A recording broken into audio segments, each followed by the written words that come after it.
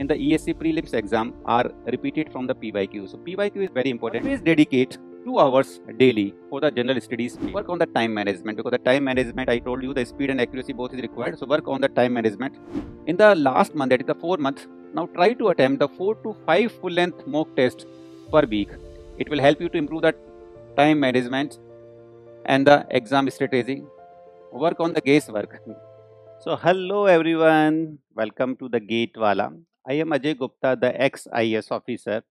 I work in the Indian Railway as an IS officer. So in the today lecture, I will tell you about the four-month roadmap for the ESE prelims exams. So my dear student, as you all know that the GATE examination is now over. Now, what is the next target? What should be your next target? I met two type of student after the GATE exam. The one type of student who have done very well in the GATE exam and they might hoping for to get the very good rank or score in the GATE exams. And now they are hoping to target the next higher level exam and that might be the ESE exams. The another type of student who have not done very well in the GATE exam exam due to there might be the several reasons for that. Now they are looking for some alternating exam and this exam may be the ESE exams. So as you all know the four month is still left for the ESE pre exams. So I will tell you some guidelines, some strategy that you may follow so that you can easily get through the ESE pre-exams. So, this is the four month roadmap for the ESE pre-exams. As you all know, the ESE prelims exams is having the two paper, the paper 1 and the paper 2. Paper 1 and paper 2. Paper 1 belongs to the general studies and the paper 2 is a technical paper.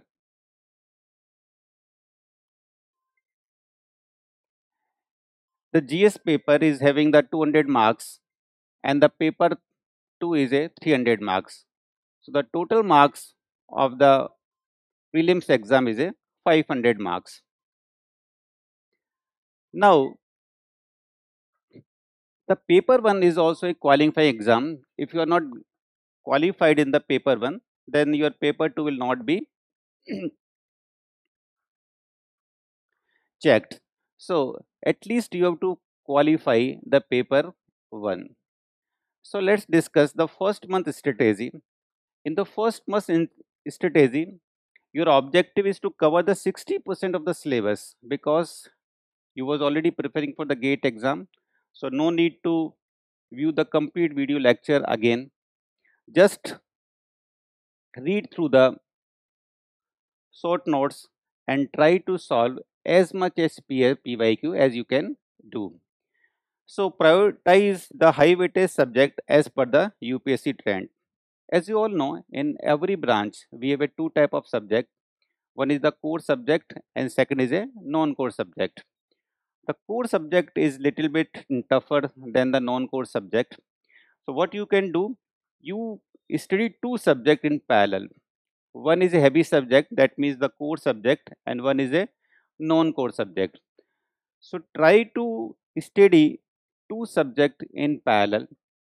Follow the standard book, coaching notes and the PYQ. The PYQ is very important because as you can see that approximately 50 to 60 percent question in the ESE prelims exam are repeated from the PYQ. So PYQ is very important. So try to cover at least 25 year of PYQ and we already have the PYQ book of the GATE Wallah which is covering the 26 year of the ESE prelims exams paper. make the formula sheet for the every subject and the short notes for the revision. You have already made the short notes for the GATE exams. Just try to revise the short notes by writing some theoretical concept. So here in the ESE prelims exams, please add some theoretical concept in your short notes. solve solve topic wise previous year question PYQ immediately after studying.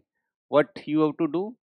Just revise the short notes for one topic and try to solve the PYQ from that topic. That may that should be your strategy for the technical paper that means the for paper number 2. Now what is for the paper number 1? Again for the paper number 1 try to cover the 60% syllabus in the one month because you all know that the good begin is the half done and always dedicate 2 hours daily for the general studies paper because it is covering the lots of uh, topic like aptitudes ethics environment project management ict and the current affairs. Some of topic of general studies you are already aware but some topic of the general studies may be very new one. So it will take some time to create interest in the that topic. Try to solve objective type topic daily for the accuracy improvement. Because in the ESE exam you need the accuracy as well as the speed the both is required to clear the ESE prelims exams now um, come to the strategy part of the month number 2. Here, try to complete the remaining syllabus, approximately 90, try to complete the 90% of syllabus in the second month. Solve 50 to 100 MCQ daily from the different topic. Try to solve 50 to 100 MCQ daily to check your speed as well as the accuracy. Pro focus on the numerical type of question. Attempt topic wise test for the accuracy improvement. The accuracy and speed both is required. So try to attempt the topic wise test that will enhance your speed as well as the accuracy. Now come to the general studies paper revise the previously studies topic, solve the daily quiz for the current affairs and the technical general studies, work out on the logical reasoning and the engineering aptitude problem. These are the topic like the logical reasoning and the engineering aptitude in which most of the engineering students are very good. So try to get as much marks as you can get from these topics. Now, in the second month, increase the mock test frequency to 2 per week. At least give the 2 mock tests per week in the second month. Analyze the mistake. What is the main motive of the mock test that you have to analyze where you are mm, mm, committing the mistake, analyzing the mistake and try to improve the weaker topic try to improve the topic in which you are not performing well in the mock examination. Now I come to the third month strategy for the technical paper. Now complete the complete syllabus in the three month at the end of three months, you should try to complete the complete 100% syllabus for every subject revise your formula sheet and the short notes daily focus on the weak area. When you are appearing in the mock exam or when you are doing the PYQ, try to focus on the weak area and the high weightage topic. In the ESCP, ESE exam, the core exam, the, the core subject is having more weightage as compared to the non-core subject. So give more attention to the core subject. Solve full length subject wise test. Now, in the three month, try to solve the full length subject wise test. Now, what is for the general studies? Attempt the full length. Now, start attempting the full length general studies paper. Work on the time management because the time management I told you the speed and accuracy both is required. So, work on the time management. Try to complete try to complete the total question in the given time. Revise the important current affairs and the standard definition that is very important for the general studies paper. Now in the third month itself, attempt three full length tests weekly for the general studies paper and you should try to simulate the exam condition, solve, try to solve the question paper within the two hour slot. Work on the eliminating the silly mistake, try to eliminate the silly mistake. It will require the practice, the more practice you will do, the less silly mistake you will commit in the exams. Now, what may be the strategy for the fourth month? Now, in the fourth month, try to maximize the accuracy and minimize the mistake. That is, that should be the objective in the fourth month. No new topic, only revision is required.